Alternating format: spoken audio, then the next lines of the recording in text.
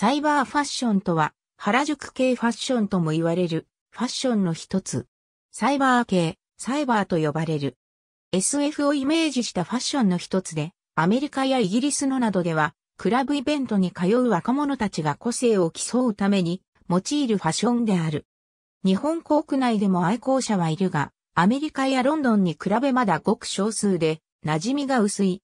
しかし最近ではイベントなどが盛んに行われたり、ファッション雑誌、ケラなどで取り上げられたりして、少しずつではあるが認知されつつある。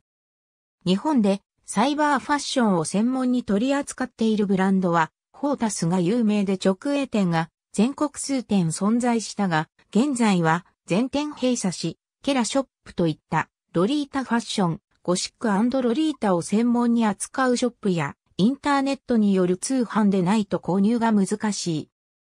現在の日本国内では着物をリメイクした商品が中心のファッションブランドタクヤエンジェルや新世代サイバーファッションブランド D さんがサイバーファッション界の中でも主な賑わいを見せており、近年ではプロダクト C やアイカエレクトロニクスなどのサイバーアクセサリーブランドも登場し、サイバーブランドがにわかに盛り上がり始めている。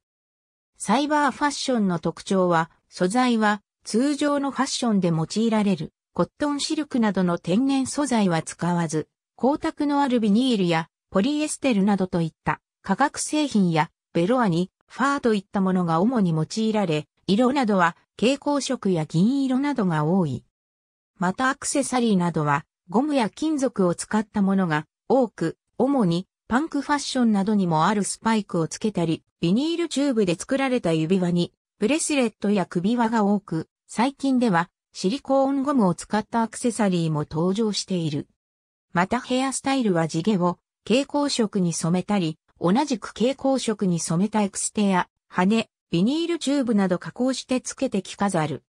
最近ではこのサイバーファッションにゴシックロリータやゴシックファッションのゴシックの要素を加えたサイバーゴスという派生ジャンルが存在している。ありがとうございます。